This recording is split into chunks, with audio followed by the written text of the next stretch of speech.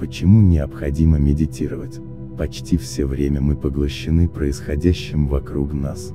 Наше внимание очень ценный ресурс. Существуют целые индустрии, которые зарабатывают миллиарды долларов, поглощая наше внимание. Мировые бренды, политические движения, тысячи корпораций ведут настоящую войну друг с другом, чтобы завладеть нашим вниманием хоть на секунду. Маркетологам и политикам меньше всего нужно, чтобы мы были счастливы. Счастливому человеку ничего не продашь.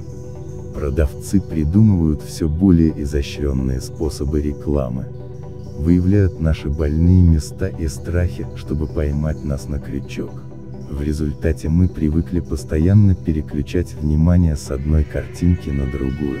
Бешеный поток информационного шума ежесекундно вызывает в нас чувство беспокойства, напряжения, боли, страха.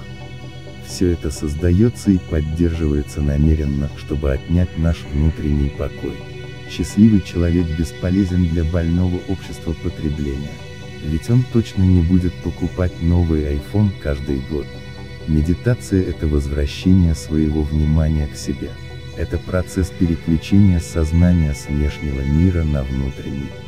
Это умение управлять своим вниманием и не позволять другим завладевать им без разрешения, вызывая в нас нужные кому-то другому чувства.